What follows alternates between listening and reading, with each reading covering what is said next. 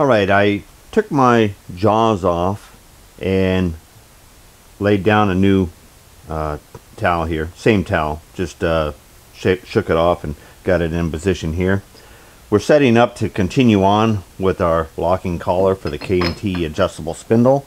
And we're going to put our piece of material in here. Alright, we're going to look at it. It seems to be seated at the back of the uh, chuck, really nice. And we've got our part here. We're going to be roughing out the OD of the the outside that that protrudes into the housing. Once we have that, then we will come in with some serious tools, not just a pair of dial calipers here. Now, what we have for serious tools, we laid out here on the uh, K&T, and we have uh, three micrometers that will give us uh, the exact uh, diameters of the bore, the minor diameter, and the major diameter. The uh, inside micrometer set is how we're going to actually measure it, and we'll confirm it with the outside micrometer. And the face of the minor diameter to the depth where it hits the flange for the major diameter. We will check that with a uh, depth mic and we will be able to precisionally make this part. When, when you uh, are serious about measurements, you need to get something besides a set of calipers. In my mind, anyway. Alright, start off here, we're going to be turning or roughing down just above the diameter of this, which is 4 inches uh, 750, 4 and 3 quarters. And the depth here is, uh, by scale, it's just under 1 and 400, so we'll just call it like uh, 1 350 we can rough it to. Alright, we still have our cutter set up. We, we have an extra holder, so we kind of left it in there. And uh, this is the step that we uh, figured our height adjustment here. And that worked out fine. Everything is still tight there. Alright, I'm happy with this uh, location here. I've already come in. I put this in neutral. I've come in here, checked my distance in here to the jaws and made sure that I swung around and I'm not snagging my uh, cloth there yet. All right, uh, let's uh, let's put it uh, kind of like that, and uh, I think we'll need a reverse feed here. Let's just check our direction. All right, it's going to be in our right direction. I'm just coming in and I'm going to touch here and I'm going to just give me a zero here just so I know how much I'm taking in at a time here. And uh, I'm going to go ahead and I'm going to give that a 100. And we can come in here and touch there, set our zero for our face.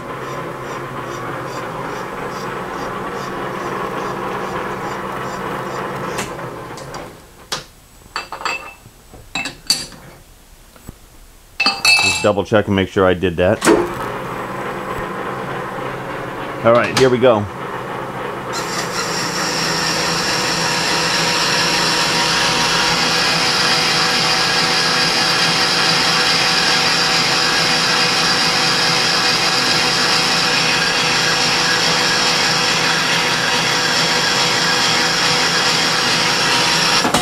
Okay, I'm I'm throwing up some dust there, and uh, and I want to keep going at what we're the rate we're going. So I'm just going to go ahead and add another cloth to the back side here. I have to add another couple magnets there. All right, here we go.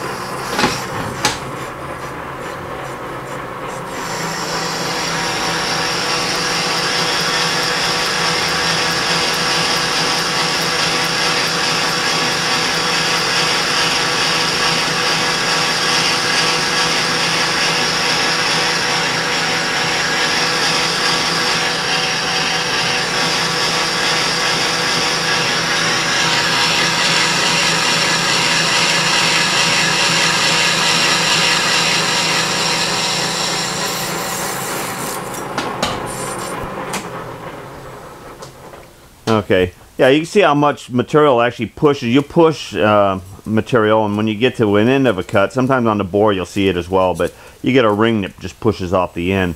And that kind of gives you the height of uh, your cut, and that was a hundred thousandths there. We're going to continue whittling this down. All right, here we go. Here's another hundred thousandths.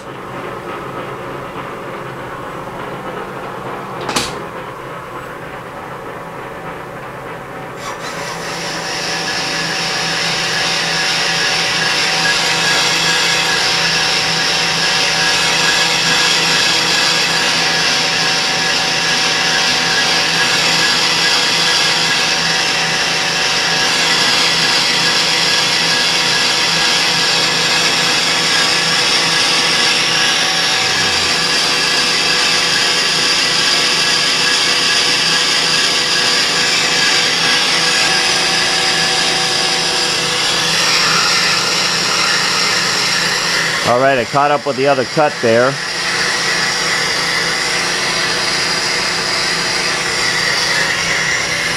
Uncover my travel dial because we don't want to go any farther than we need to. And um, verify that with a scale. That's like 250. I'm just going to take it to 1 300 to start with. And 1 300 is right there.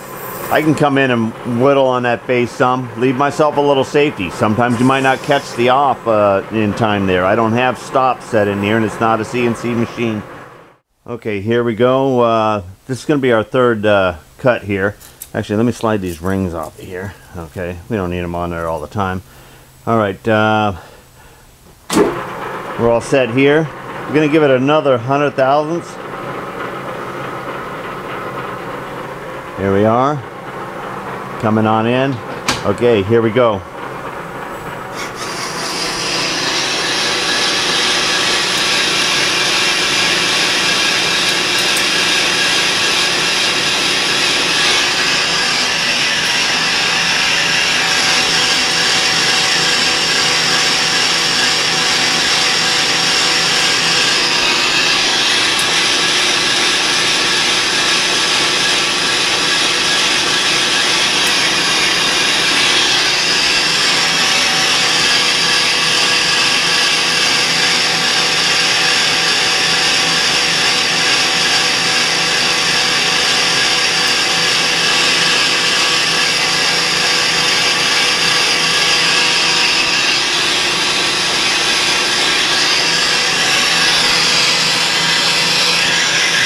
Okay, about 300 away.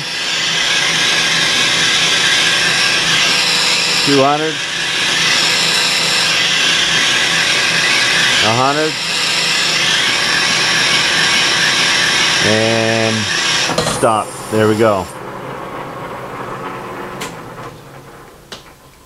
All right, we're going to continue whittling this down until we get down roughly to the diameter there. And where's my scale? All right, just scaling this here. We're at uh, five inches 600, and we're going down to four inches 700. And we got a few, few more thousands, few more passes to take off. Okay, we let this cool down a little bit because we just want it to be closer to the room temperature, and our our rough dimension here is four inches 797 somewhere around in there.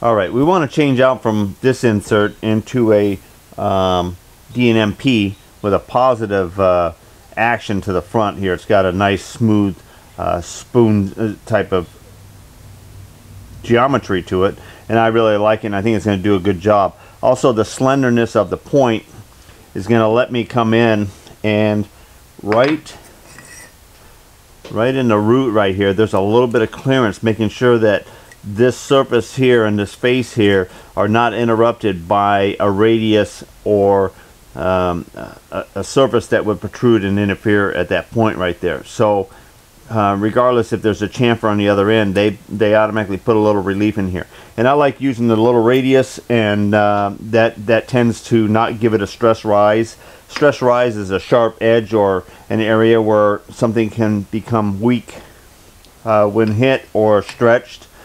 All right, so I'm changing out from this this here. Uh, now this this tool bit here we set with our center when we started, so we knew where it was. But here's another way you can check um, your tool bit in relationship to center line. All right, I just touched so it's holding the scale between the part and the tip. And the scale is leaning in towards the top, meaning I'm above center, which I'm I'm I'm cutting upside down and that's where I want to be.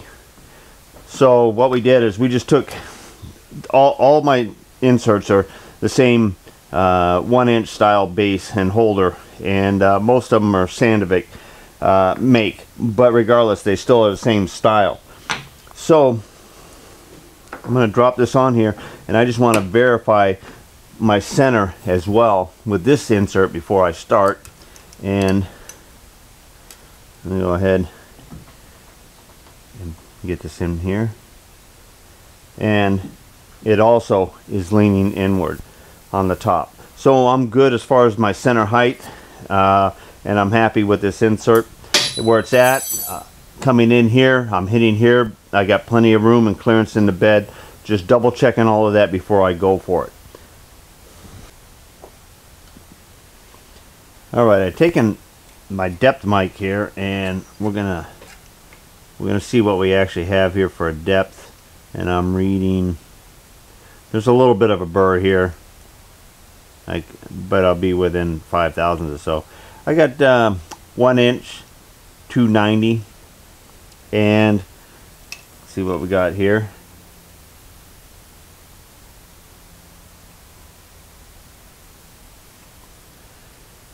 and we got uh, one inch 390 390 and a half or so. So we're almost exactly a hundred thousand shy of this. And that relief that's in here in the corner is about 100 thousandths so what I'm going to do is I'm going to come in here and I'm going to touch off on this here um, and take it just a couple thousandths past this surface here as far as it, the, the, the, the dimension that we want to be. So that after I turn this diameter come in here kiss this face here I'll be able to back out with the travel dial exactly that distance and then come along that face. And then this diameter that face and this face will all be done in in one one swoop then we'll be able to change out our setup and we'll come in and we'll do our bore for the finished bore. Then it I need to go ahead and looks like this gets just slightly broke and then there's uh there's about a hundred thousandths break on that face there and then just making sure that I have that relief in there. Um, and that's pretty much all that we'll have to do to this thing. And uh, so let's get let's go ahead and start. I'm gonna start and touch off on here and uh, get that diameter close. Then we're gonna come in here and skim that. All right let's come out here. We're gonna touch off. There we go. All right we're gonna take uh, it's almost sitting on one inch mark there. Okay uh, I'm just referencing my my dial here. Okay we're gonna go ahead and we're gonna take take 50 thousandths. We know that we had about a hundred. Okay here we go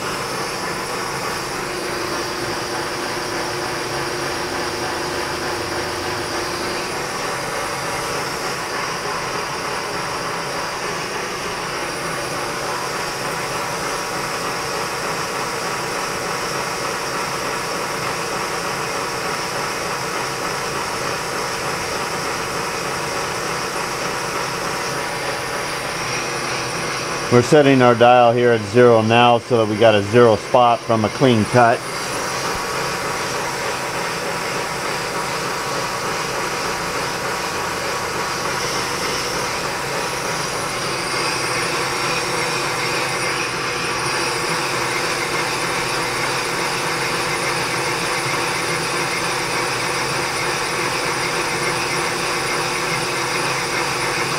and we're going to go in just till we see remnants of it just touching that outside diameter of the, the minor diameter there, I should say, down in the root there. Okay, right there. You can see how it started cutting out. All right, we're to back it off just a little bit there. Okay, and just back away. And let's go ahead and let's check out what we got. Okay, let's we're gonna spin this back a little bit here. Okay, let's hold it in there. We uh, lightly rubbed our uh, face off of here. Now this is the saw cut, so we haven't uh, we haven't taken anything off of this yet.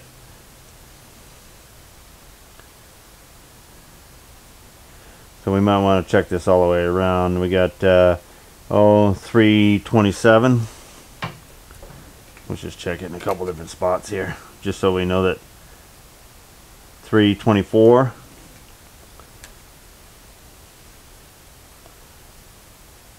Three twenty nine. All right, so there's about five thousand uh, off of this thing as it is. Let's go ahead and let's run a cut across this face right here.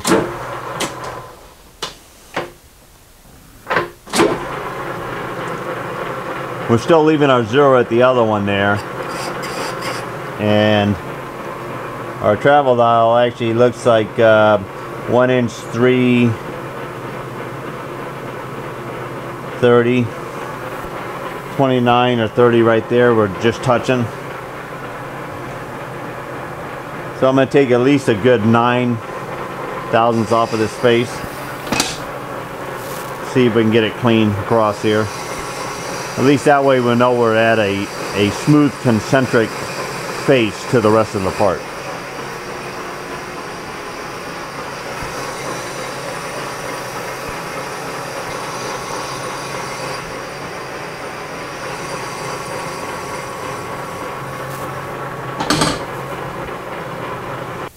Alright, let's see what we ended up being here. Alright, one inch, one inch three sixteen. Okay, we're going to go ahead and come back in here and touch off and take another face. We're going to try to bring this depth in here just about right on the money, real close to where we can set it up and create the right length after we're done. But we'll get we'll get in here so that we can turn this diameter and then we can plunge in and create that root down in there. Okay, this should be we should be coming right back into our zero. It shouldn't have changed. All right, there's our zero. All right, no cut.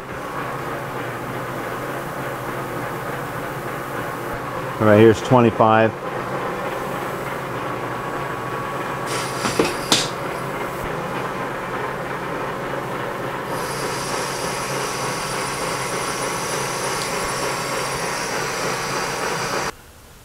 Okay, we're getting real close here. Three, one, three seventy one, and what did we say this was? 390?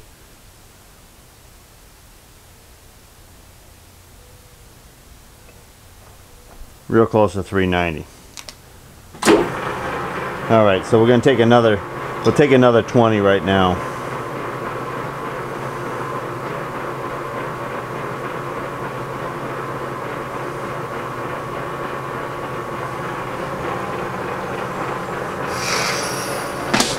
After we take this cut here, then we're going to take and we're going to swap the holder over to this side and we're going to pick up a little bit more angle into the other direction so that we'll be able to reach in and do that relief after we get done with that face.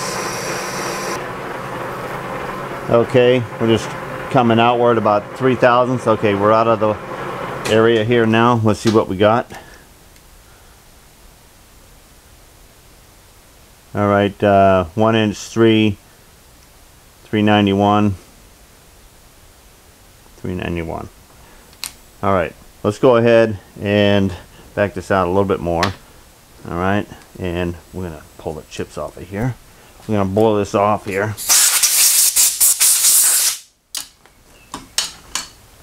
Okay we're gonna put this on in this direction now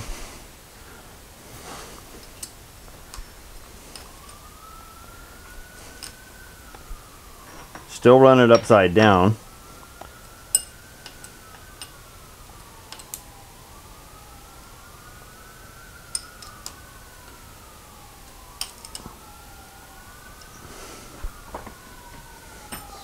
Okay, and we're gonna break loose the post.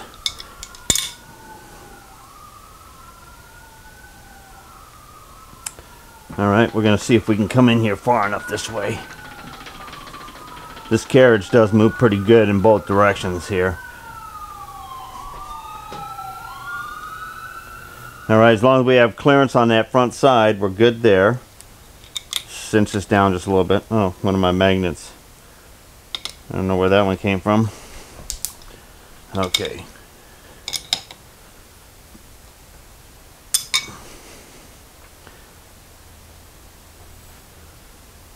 All right, we'll be able to come in there and give the nice little relief because the relief is really on, on the diameter, not on the face. All right.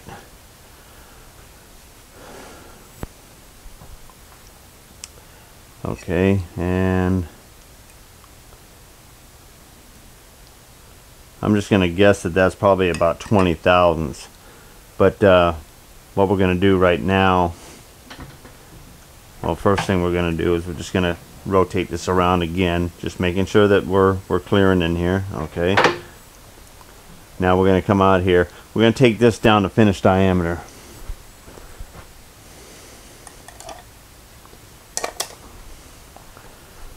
Okay, and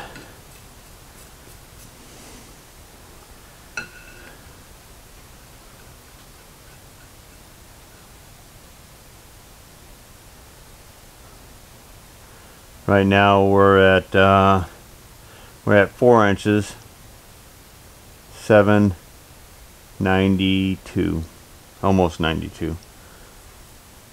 All right, and we need to go down to an inch and three quarters or so. We're going to measure the bore that this goes in because this is this has been broke. We will still try it uh, 90 degrees from each other. And I'm getting like 752 there.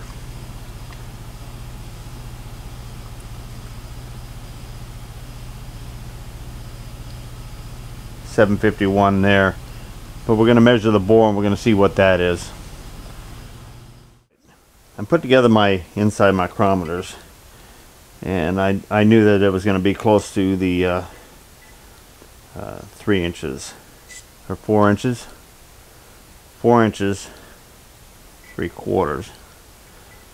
Now what I do is I hold this th that stationary end and then the thimble end is the end that I kind of walk back and forth and find find the largest diameter that I can pass through and get the get the touch feel right there. Now that touch feel that you're getting used to or doing for the first time or after a while automatically it, you got that feel and you want that feel that you feel in here the same as the feel on a micrometer and that's gonna that's gonna replicate that bore diameter as close as close as you can get it. I'm uh, and also too I'm kind of confirming that uh, this inside micrometer here is reading within two tenths of this one here but it's best to do uh, almost with your eyes closed um, because it's it is all about a feel. And uh, and I'm gonna go ahead and check a couple different spots here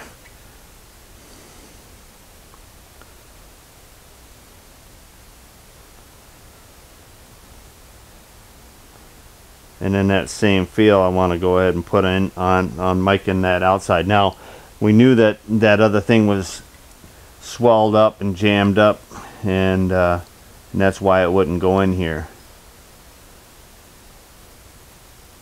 There's two two dimensions that this thing is almost like right right on the nominal meaning the uh, four inches uh, 750.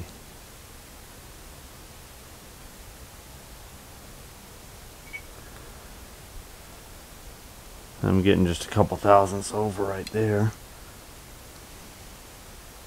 Yep. Down in there farther, it seems to be a little bit, that were too larger. Let's try.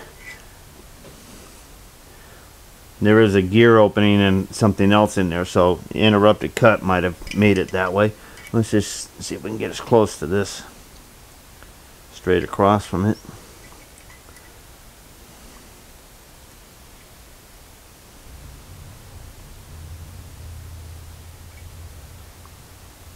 Right on the money.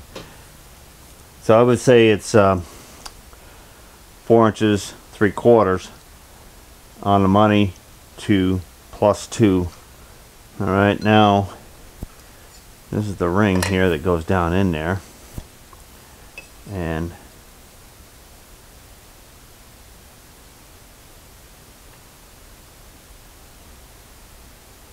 but it's been it's been stretched out. I'm getting like two over there.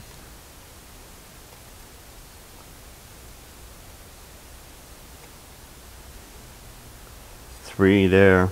But you remember this thing has been pried on outward on this thing here, so that that can that can swell that that direction. I'm not doubting it can't. Okay, to me this mic's up to be larger than the bore and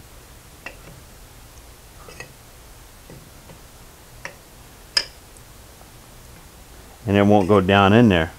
I mean, I can get this to go in there because it's not, it's less than half of the diameter, but as soon as you try to go down and you try to get the rest of it in there, it's, it's not going, okay?